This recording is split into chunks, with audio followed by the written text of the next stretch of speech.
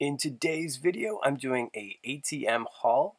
ATM is really one of those brands that heavily focuses on wardrobe staples. Two of the most important things for me are cuts and fabric. Is it to look good? Is it to feel comfortable? Something to note about ATM is that when they come out with a color, they literally make it in all of your basics, all right? So for example, this green shirt, Comes in a plethora of choices, anywhere from long sleeve to short sleeve to v-neck to crew neck. Well, you get the gist. Everything I try on today is going to be with these R13 shorts. They have fun zipper detailing above the front pockets. Then on the back, they have the classic R13 stitching, which they only do on one side, uh, as you can see, not on the other, just one side. But yeah, thought these would be a good option to wear with everything. So this is the first shirt I got. It's a v-neck t-shirt done in Pima cotton, literally the softest cotton ever. I absolutely love this unique tie-dyeing of the shirt. That's what really caught my eye. I really like how this is eye-catching, right? So it's not crazy. Sometimes tie-dye can be really over the top. This is definitely a vibe. Continuing with the tie-dye motif, we have this crew neck t-shirt with tie-dyed stripes, which I absolutely love. I love the colors. I think they're very preppy, but again, it's tie-dye, so it gives it a different look. Just the way the shirt's constructed, it's still cotton, but it's a little bit more on the sheer side. Very lightweight, very comfortable, I feel.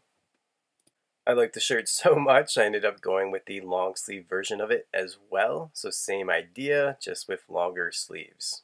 And now that I have it on, I honestly like this better than the short sleeve version. So they had the same shirt, just in a different colorway. I had to, I know.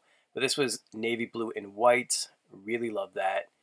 Keep in mind the white color is probably going to be more on the sheer side, but hey, some people love that. Something about the stripes being tie-dye just brings it to a whole new level. I can see this being a go-to shirt for the summer season or the warmer months really. It's very breathable, it's very comfortable, it moves well, it drapes well. Overall, a really great shirt. Next up, I got a hoodie. This is in a really kind of like a faded blue, summer in Nantucket vibe. It feels like a polo, like a really soft polo. It's such a classic piece. I can definitely see this being worn a ton during the summer, right in the evening time when the sun goes down and gets a little bit cooler. Perfection. So I've seen this color a lot with Bottega Veneta. It's this bright green. I know this color has been around for years and centuries and all that, but Bottega really kind of brought it to the forefront of my mind, and now I'm kind of obsessed. And now I just see this color everywhere. So I think you know where this is going. I saw this shirt, literally reminded me of the green from Bottega, and the rest is history. I like it even better on. I think it really complements my skin tone. Now maybe this is too bright of a color on its own, so the way to cut that down, add a bomber, add a jacket, add a cardigan, anything that's really going to cut that color down, but really frame it nice so it's still there but maybe not so overwhelming. I also feel if you do a bright color, keep the rest of the outfit simple. Next up is a camo print t-shirt. I like the color scheme of this camo. I feel like it's very fresh. Even though this is a pattern, I feel like it's pretty versatile. I could wear it by itself, but if I added a pea coat, really just changes the whole look of the shirt. The jacket just took us from a casual look to something much more put together. Next up, we have a purple t-shirt done in the Pima cotton.